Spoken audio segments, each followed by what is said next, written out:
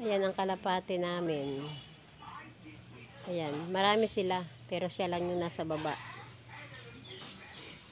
Ayan. Takot naman siya sa manok. Ayan.